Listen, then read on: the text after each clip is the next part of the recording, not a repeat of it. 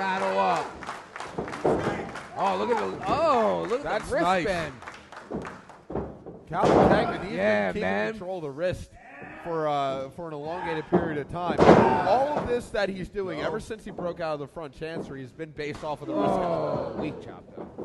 There it is. Oh, he ate it. That's like chopping a brick wall, Nick. Oh, weak. That's like a thud. Ooh, taking the shirt off. Homicide doesn't do that often. I don't think it's a shirt. I think it's the weak chop. Oh, he's taking the tank Yeah. down too. Yeah, let's go. Let's see what you got. He said, "Let's get it." Oh, He said, "Let's put that gear back on."